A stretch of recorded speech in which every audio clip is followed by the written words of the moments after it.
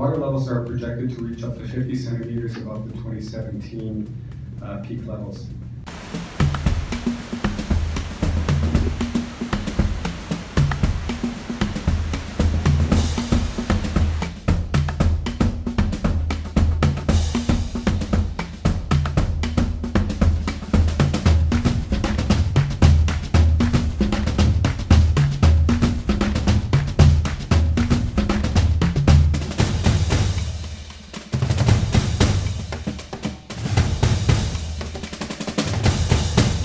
So we've been told that we have to evacuate as soon as possible, so we didn't take anything from our houses.